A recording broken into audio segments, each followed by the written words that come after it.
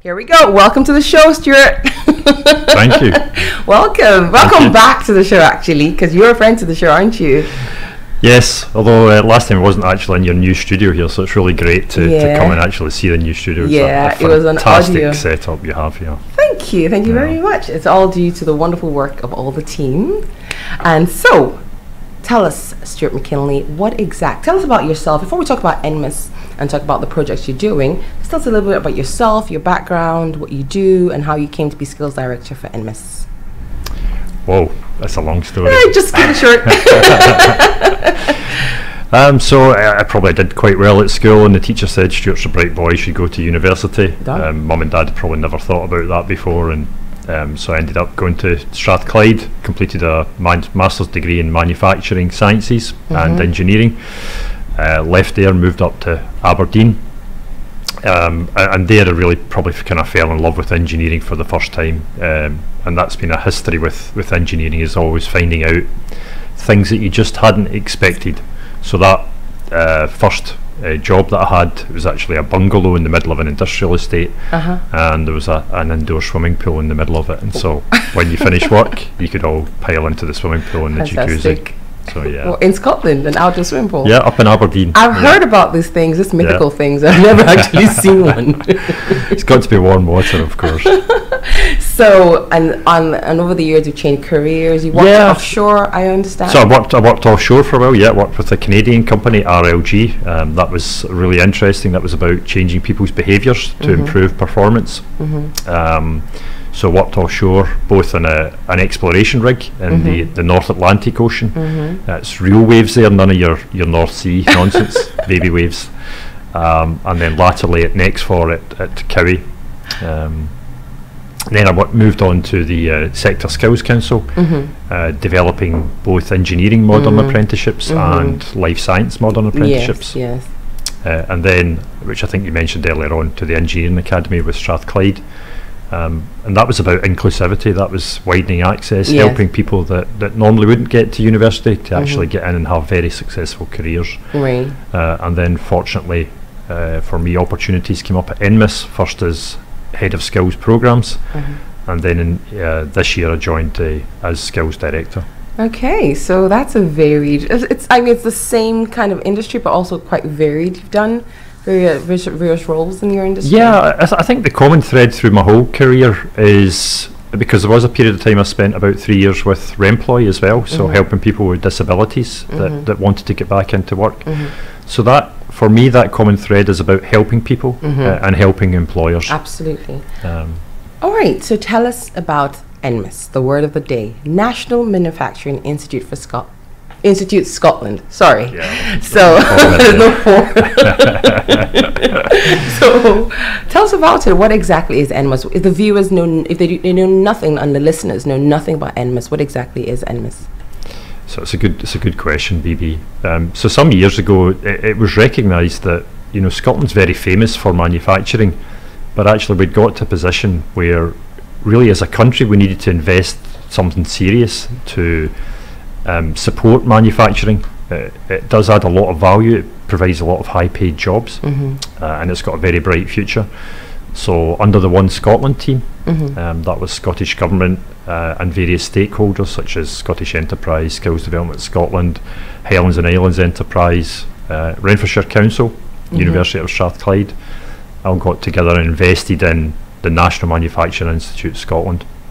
We're actually building a brand new headquarters, Mm, heard about it. which is probably uh, less than a mile from yourselves from these offices, so I could I could walk there.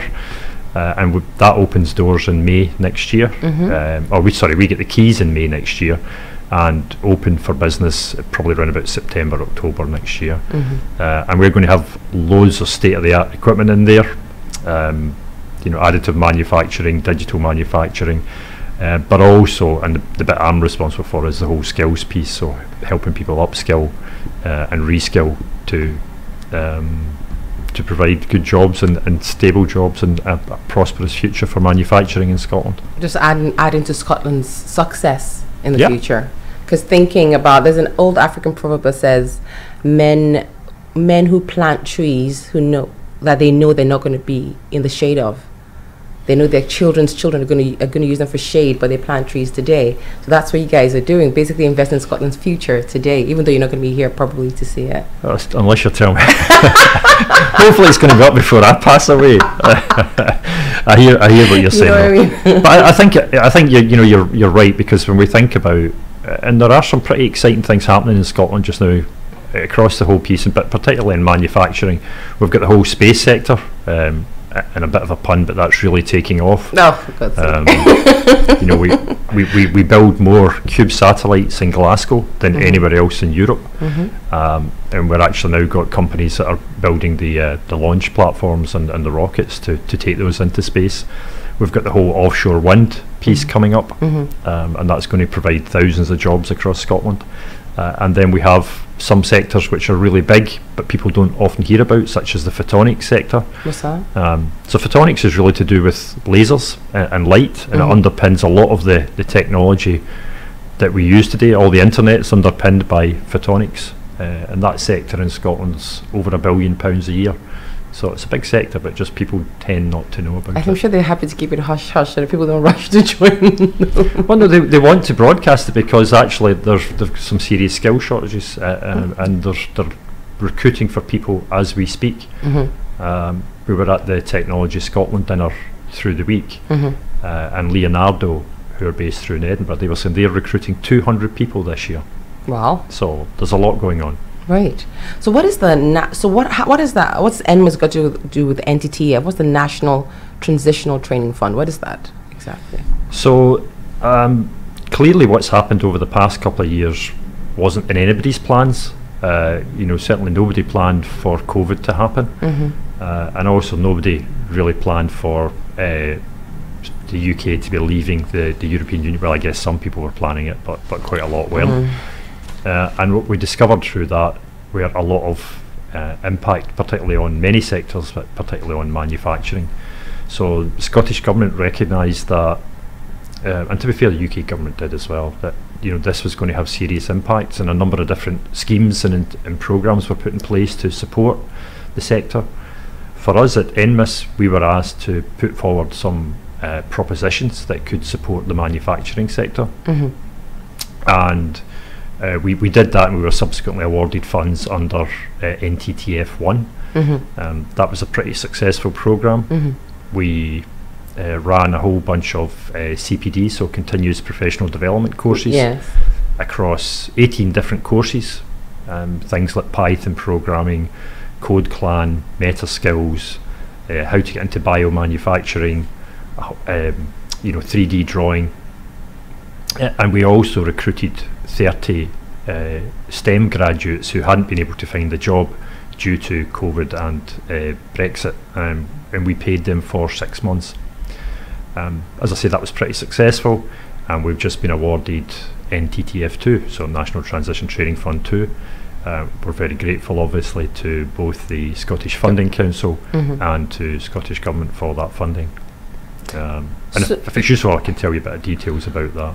So what exactly? So we know what it is and what it's used for. What, how, like the, the minority communities in Scotland? What exactly? How do they benefit from this fund? Like, and that's who we represent here at Jambo Radio. absolutely.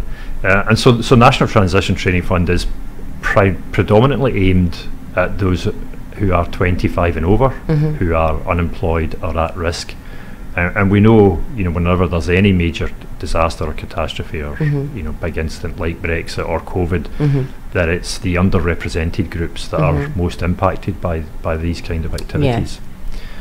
Uh, so one of the things we were really keen to do was to work with, um, you know, probably the, the two biggest underrepresented communities in, in Scotland, and that's women, uh, certainly in, in engineering and manufacturing, women, uh, and and you know ethnic minorities, Okay. um, and so we are working very closely with Equate Scotland mm-hmm. and with Okay. AFBE, so that's the Association for Black and Ethnic Engineers, which you mentioned earlier on. Mm-hmm. Uh, and we've created a, a program. So what we're going to do is, um, and there are two parts to the program. Mm-hmm. So the first part is we're actually going to be reaching out to the community uh, and to say, look, if you're looking for a job in manufacturing, you haven't been able to find it, we can actually provide you with some support, with some help we can provide you with.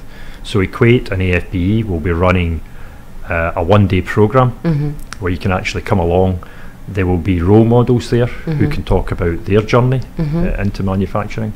We will actually have careers events, Mm-hmm. um, and so there will be uh, sessions on you know how to present and create your CV Mm-hmm. so that it's most effective. Mm-hmm. Uh, there'll be things like interview tips and techniques, um, how to sell yourself at an interview, and then as part of that package as well, they will actually offer mentoring for individuals who want that mentoring.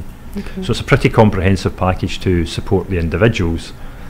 The other part is just as important because it's no point in, in setting people up with all these expectations if the employers are th- not Are then not, uh, receptive. yes. So the other part of the, the program is actually to work with employers to actually get them to um, modify their behaviours a bit because Mhm. You know and to be fair to employers many of them are really They're struggling trying. Mm-hmm. and they're really looking for good people mm-hmm. and often they just don't know how to, to quite do that Mm-hmm. so we'll be actually helping employers to um, change their language for example in their, a- their adverts to look at uh, people's skills and abilities in different ways Mm-hmm. uh, and to talk about diversity and inclusion and how important that is, um, and that will actually, you know, improve their performance as a, Mhm. a company. Mm-hmm. I mean, I can tell you there's there's lots of good examples of that. You know, McKinsey's done some really good work on looking at boardrooms that have mixed representation, and Mhm. those companies actually outperform other companies. Yeah. I, I can also tell you from our perspective at NMIS, uh, we have about 30 different nationalities working within NMIS. Mm-hmm. Um, we have three women that are on the, the senior management team. So we're not quite where we want to be yet, Mm-hmm. Um, but actually the, the feedback we get from staff within NMIS, and Mhm. we, we had a huge visioning set piece of work, piece of work earlier this year, was that actually people really valued that diversity and, and In the, the inclusivity in the workplace. So when you say we are working to, we're working with AFBE, we're working with Equate, things are going to happen. I think we're going to they're going to change that. It's- So all this is like planned. Nothing is happening right now, or are things in pla in place right now? So we're ju- uh, uh, good good question again, and we're just we're just about to kick off. Okay. So uh, we're we're running a pilot session I think next week, Mhm. and then in December we'll actually run the first courses. in December this year. December this year. Okay. Yep, and those will run all the way through to uh, July next year. Uh huh. And as part of that as well, we'll also be uh, running a workshop, and that workshop will be with some of the, the, the people that take part in the program. Mm-hmm. It'll be with some of the employers, and it'll be with the stakeholders, because what we really want to do is is make a difference. We want to make an impact, Mm-hmm. and we want to sit down at the end of that and review that and say, what have we learned? What recommendations can we then take forward to Uh-huh. Scottish Government, Skills Development Scotland, Scottish Funding Council to say, we think we've got some ideas here that can actually make a difference a- and continue the, the work that we're doing on that front. Okay. So AFBE, AFBE, like, are you working closely with them? Are you, you know, I've, I've had um, Oli Falayan on the show before. Yeah, I know, I know Ollie, yeah, good yeah. guy. Is he is he the, the contact person in AFBE? So? Ollie's the uh, main contact at. AFBE. Mhm. Um, I mean, they've got a bigger team, so they'll have other individuals involved. Yes. And Leslie Laird, who Is- I think you might also have had Yes, on, I've had on on the show. Leslie on the show as well. Um, and so Leslie's the uh, the main contact at uh, Equate. Mm-hmm. The other part that's that's really important, and and forgive me if you were going to bring it up earlier on. mm-hmm. Um, so we have five pieces of work within that NTTF program, the Mhm. National Transition Training Fund. Mm-hmm. The other piece that's really important is the the graduate program. Mm-hmm. Uh, this year we will be recruiting 50 STEM graduates Mhm. who've not been able to find a, a job because of COVID and the pandemic. Mm-hmm. Uh, again, predominantly aimed at those 25 and over, but not exclusively. Mm-hmm. And we will be looking at people who have come from university, Mm-hmm. but also those who have come from college with an HNC or an HND. Okay. So we're actually widening the pool a little bit this time. Mhm. We are a national asset, so we will be working across the length and breadth of Scotland, giving opportunities across there. Mm-hmm.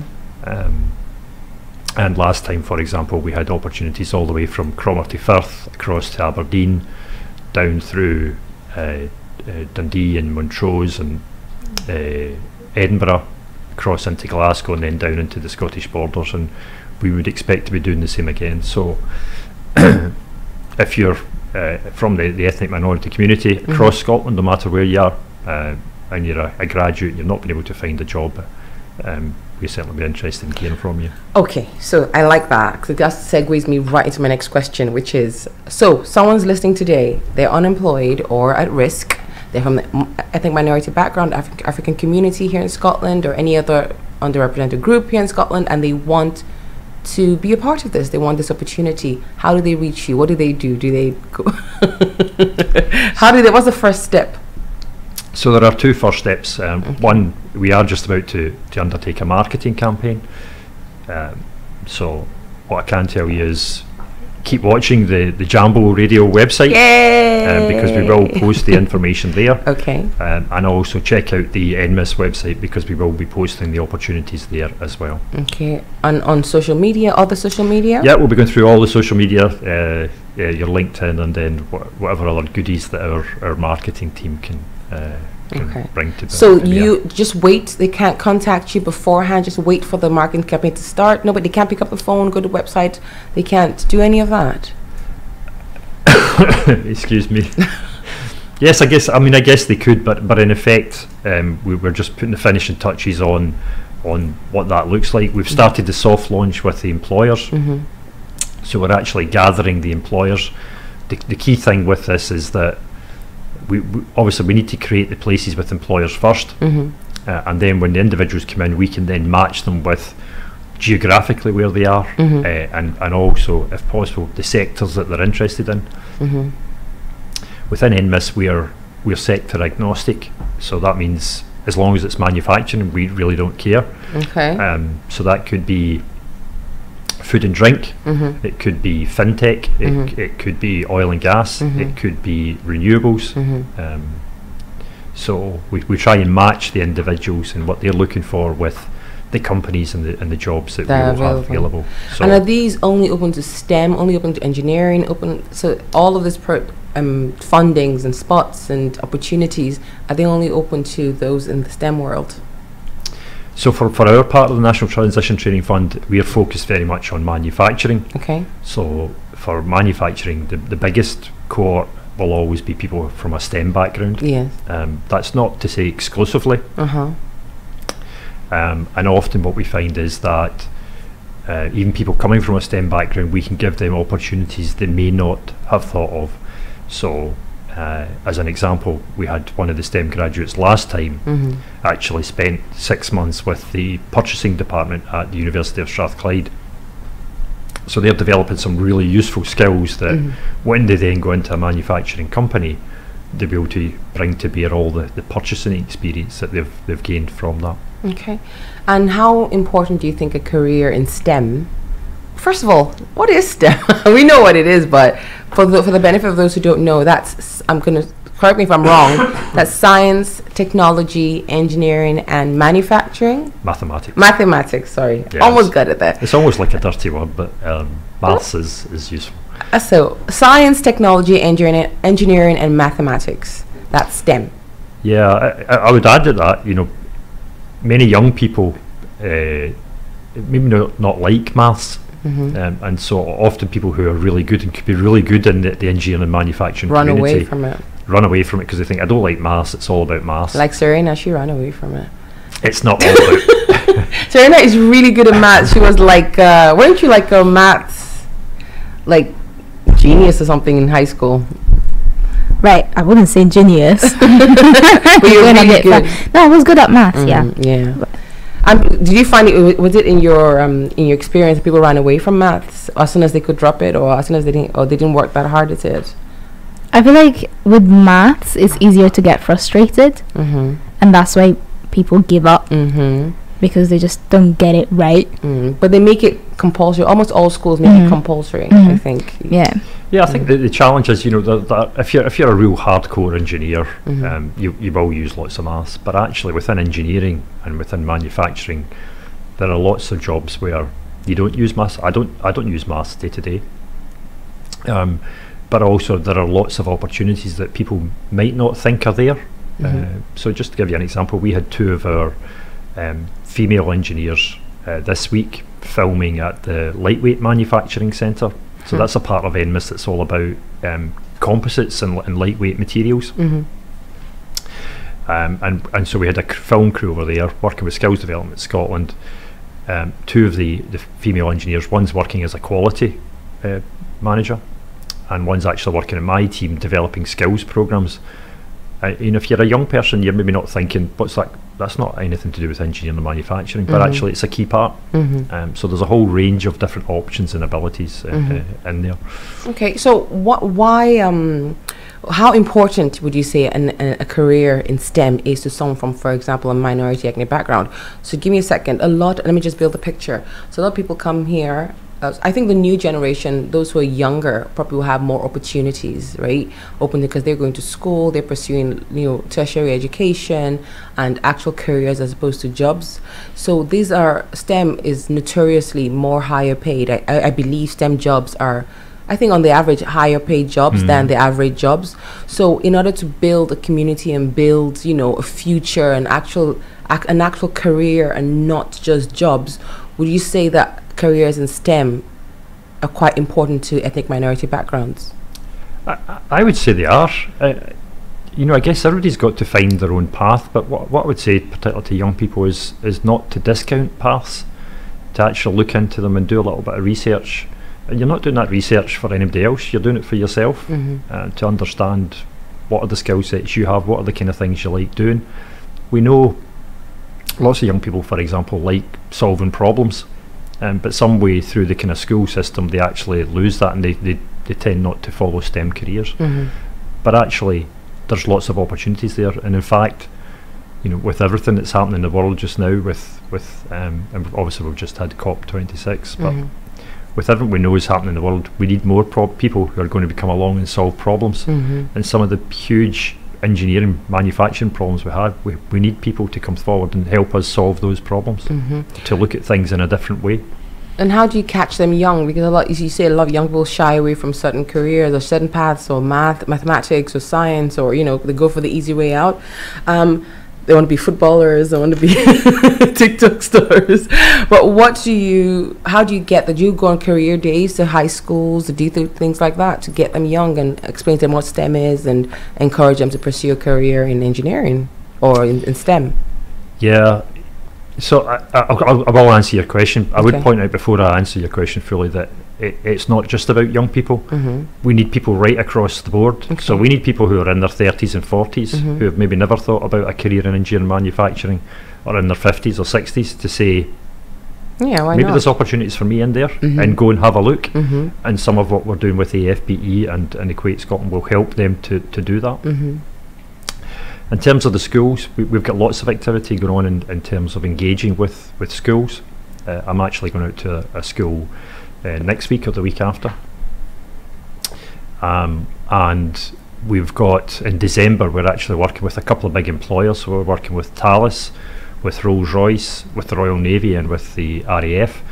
Um, and they're working with four different high schools in, in uh, Glasgow on something called Green Power uh, and that's where groups of children from those schools that maybe don't have the same opportunities as others Mm-hmm. are actually going to be building an electric go-kart Mm-hmm. uh, and so at the end of that they will be uh, they have the, the opportunity to race that electric go-kart Oh. and that's you know just an example of trying to encourage young people in Mm-hmm. I remember some years ago going to a school with uh, it was a 3D printed spanner if any of you I mean 3D printing is a lot more common now but Yeah. effectively what you're doing is if you think of a, a printer that prints on paper Mm-hmm. it just does that but over a number of layers and actually builds, up a three-dimensional object Yeah.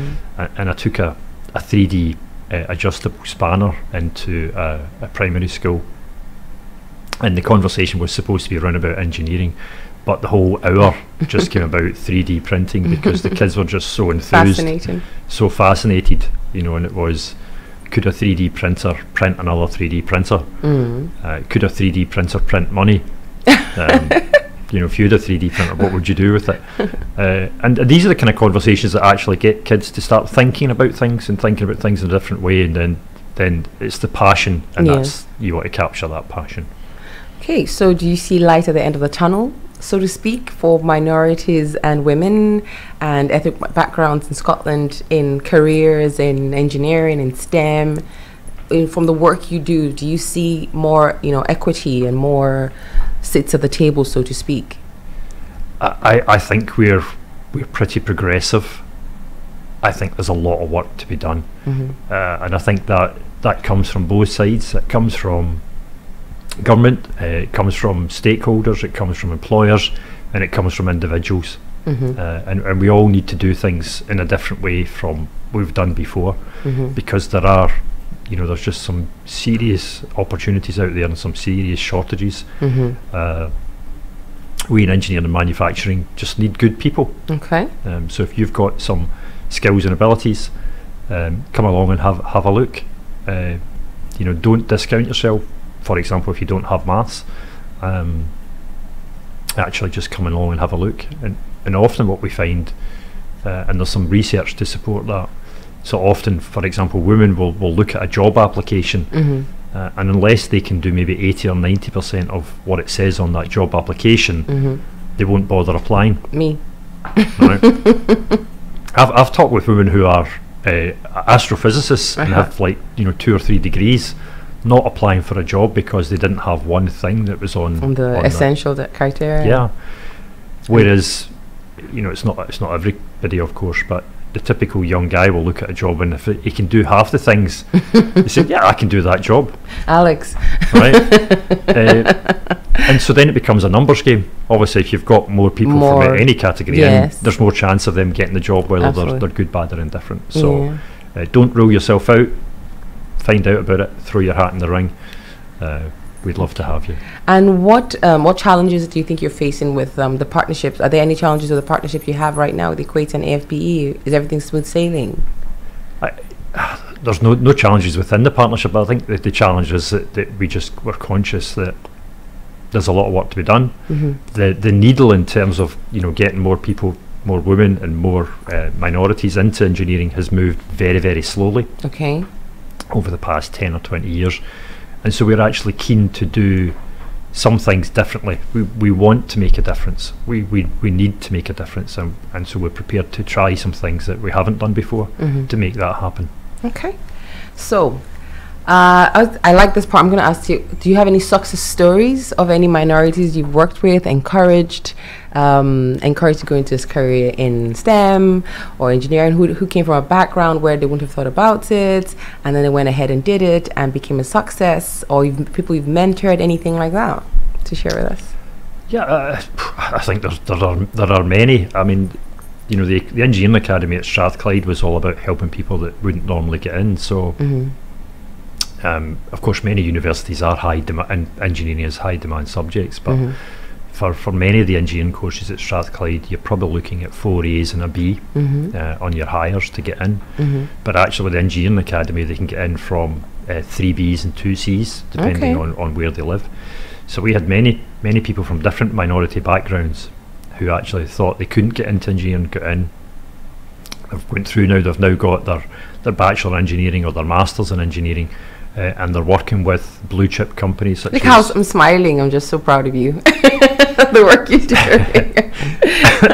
such as Airbus or uh, Bombardier or you know British Airways, just a whole raft of of companies. Uh, equally, if I think about you know the NMIS NTTF program Mhm. uh, or for the graduate program, the very first graduate we took on was, um, I'll say he's a young man. He's younger than me, so I'll call him a young man. but Mina Mina Hanna. So Mina had uh, Egyptian by by background, um, lived in Scotland for a significant number of years, and completed a degree at uh, RGU Mhm. up in Aberdeen. And Robert Gordon. Robert Gordon University. Yep, Mhm. yep, well done. Thank and, you. Uh, just hadn't been able to find find a job, so through the work with ourselves, um, we actually worked with Cromarty Firth Ports and with uh, University of Highlands and Islands, and uh, we paid for a, a placement in a, an organisation they set up called the Powerhouse, and that's going to look at um, you know research and manufacturing for the whole um, wind turbine area Mhm. up in the, the north of Scotland, um, and so he's uh, going to be appointed as the manager of the, the powerhouse Oh, there. the manager. So yeah. What about um, Rodrigo Saiba? That's another one. Well, Rodrigo was, was someone I was thinking about when you asked the earlier question. so Rodrigo came through the the uh, Engineering engineering, Academy. Um, had a number of different experiences. You know, worked with uh, Lactalis down in Stranraer. Uh, Mm. So we know them as McLelland Cheddar, Mhm. uh, but they're actually owned by Lactalis, the biggest independent, uh, or sorry, family-owned dairy company in the world. It's French-owned. Okay. Um, and then he moved down down south to get his first job, and he's actually now been uh, headhunted by another company, and he's moved on and, and got a better job with And when he came to Scotland, I understand he couldn't speak English. He was he was French speaking, came from French the Congo. speaking. That's right. Yeah. And when high school here in Scotland couldn't speak English, he was discouraged by his teachers not to not to follow and to do something very simple. Don't try to be complicated. Don't try to um, study anything complicated, mathematics or any STEM subjects. And and he still managed to get his way into engineering. Yeah, so, uh, uh, and so I think Rodrigo was a very good example of someone that um, wanted to, to do better for himself Yes, and wasn't prepared to accept that there weren't opportunities there. yes, So he, he looked for opportunities, he kept knocking on doors, and he made things happen. he was actually told by his teachers not to, to go for um was it to work in a, as a mechanic or work Yeah, in a so he started. He started as a mechanic, and Mhm. uh, absolutely nothing wrong with being a mechanic. Mhm. Um, but you know, you got to follow your heart, Mm. and he, he wanted to do something better. Mhm. Um, that, you know, that was his his choice of words, and, and, and he did that. And those are those are like amazing success stories for me. For some people from ethnic minority backgrounds coming to Scotland or growing up here with certain disadvantages, and then just having people support you the right you having your idea of what you want to do, and having people support you to realize those dreams or those plans for yourself. Yeah, I, I think that, you know the other the other interesting th- comment I'll make on that, and again reflecting back to my time with the engineering academy, um, my role was about the industry engagement, so it was helping the, the graduates or the undergraduates to actually find paid summer placements with Mhm. companies. Yes. Uh, and um, we actually did a bit of a test, and we looked at excuse me, we looked at um, where where the students came from Mhm. uh, in terms of their, their postcodes and how likely they were to be selected by employers. Now we found that uh, it was actually It's the crazy. employers, of course, didn't know. They, they, by and large, they don't care what postcode you come from. They just want good people. They're good people. Yeah, you know, they want people who are passionate and enthusiastic and, and knowledgeable um, and, and well educated. And so, actually, when we did the test, we found that employers were more likely to choose people from um, the the uh, what we call the Scottish Index of Multiple Deprivation. So Mhm. the postcodes that we would typically think of as being poorer areas, employers were actually more likely to choose people from those areas. That's interesting. Um, and so, so why why was that? Well, it was for a couple of reasons, and predominantly it was about actually the, the passion and enthusiasm shone through. It was about showing that um, I've got an opportunity here, and Mhm. I'm not going to let it go. Mm-hmm. And actually, I want to prove that I'm just as good, maybe even better Yeah. than somebody that's got four or five A's. Mm-hmm. Um, and you know that kind of human spirit. That's what we want to encourage. Fantastic. Well, I think we've come to the end of things for today. But I just want to tell if we want encourage people who are interested, who heard what you have to say today, and are interested in, you know, joining the program or being part of it or getting some funding for what they're doing. How do they reach you? Once again, you've told us before, but please tell us again. So I'm a listener. I'm listening to the show, and I'm enthused, and I want to be part of things. How do I reach you? What do I do? So the uh, the first thing to do is to go and look at the NMIS website. Mm-hmm. Um, we often have jobs there. I think we've probably got about five different jobs advertised at this moment. mm-hmm. Um, we're actually looking for uh, an equality and diversity manager I'll do it. for the. I don't think uh, Jambo Radio will let you go. Uh, we're actually looking for an equality and diversity manager for that specific project we talked about, Okay. um, and, and really, of course, interested in, in hearing from anyone that's got those skill sets and abilities. Um, so look at the NMIS website. Keep watching the Jambo Radio website. We will post it. We will have it on social media very shortly. Mm-hmm. Uh, but I, I think the other thing is to people is to, to, to look in places you might not expect. Um, there are many, many good universities in, in Scotland. Um, I, I know Strathclyde because that's where I come from, but Strathclyde have almost 4,000 employees. Mm-hmm. So people might not think to go and look there for jobs, Mm-hmm. but there are always jobs there, and that's everything from from the cleaner through to your kind of academics and your researchers through Mhm. to apprenticeships. Um, and, and within NMIS, we're actually we're taking on apprentices as well. So we'll be recruiting six apprentices uh, in, in the next, um, I think certainly by by January. So again, if there are apprenticeships of interest, then uh, keep looking at the NMIS website. Okay, thank you. So, and what advice do you have in general for our young listeners, not just young, all our listeners who are thinking of their car- careers in STEM? You know, they come from an ethnic background, minority background, some maybe some disadvantages there, and they're thinking, I want to pursue a career in STEM. Do you advise them to go for it? Do you advise them to take any every opportunity they have? I, I would advise them to go for it. I'd say, you know, follow your heart, follow your dreams. Don't don't be put off people tell you you can't do it uh, or it's not possible. Just look, talk to other people, find ways to do it, and actually by solving those problems, what you're doing is actually evidencing some of the things that really good engineers do. Yeah, Um, you know, not all engineer, not all problems are about solving mechanical or electrical things. Sometimes it's about the people side, uh, and those those problem solving skills are, are really valued in engineering manufacturing and really valued by employers. All right. And all this saving the world you're doing and all this, you know, all the amazing work you're doing with people, how do you balance that with just your general life in general? Well, I, I, th- I think you've, you've you've got to have that degree of integrity, haven't you? And and uh, you know, for me, what's very important is uh, people, as I mentioned, helping people. Mm-hmm. Um, and you know, I like spending a lot of time with my family and, and helping my family make sure that they're uh, doing very well as well. I hear your family's very nice. Yeah, they've got there's some highlights in there. Yeah, yeah. What are the highlights? Tell me a highlight. I could point an elbow at the highlights, but Go on then. um, Relax. Go on. Tell us about the highlights. you, you want me to tell you, BB? Yeah. yes, I do.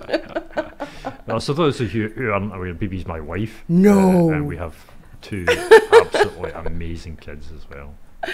So a very happy man. Great. I like to. I like to. I've got to say that because she's kicking me on. I literally am. All right, I was gonna like ask you the two things about you, but we've talked about your work the whole time, so it'd be weird to ask you that. But anyway, tell us about yourself a little bit. Yourself. What are two things about you that people may not know about you? Um, so probably a few people might know that uh, when I was younger, I appeared in Gregory's Girl. um, I probably had hair about the same length as you've got just now, BB. Uh, those days are long gone. Uh, uh, and the other thing is probably again might come as a surprise, but when I was little, I used to do wrestling. Yes. So I actually had one of the little leotards. Uh, happy happy days. We used to go for competitions, and obviously within wrestling, you've got weight categories. So Mm. you'd go for the weigh-in, and and maybe if you didn't quite meet the weight, you'd have to go and run and jog and go to the toilet and You try. had and like lose weight in like moments. you had to lose weight to, to get under the threshold and as soon as you got under the threshold you You go back to your locker where you had your stash of. Mars bars and cans of Irn-Bru and uh, put the weight back on again probably didn't help you but psychologically you thought you were you thought you were magic Oh, Stewart, thank you so much for being on the show. Usually we're a bit crazier here, but you bring such calm and class to things that we're actually quite right, Serena. This is a different energy here. Usually we're like, ah, and you're just so like da da da, and I'm just finding myself really, really calm as well. You have a calming effect. So is that a good thing I, don't think know. so. I think so. I think you kind of balance me out a little bit. Uh, listen, in manufacturing, there's lots of calm things. There's lots of excitement as well. So if you're on either side, uh, or you just like a bit of both, those opportunities are there for you. Right. I like the way you brought it back. Thank you so much for being on the show.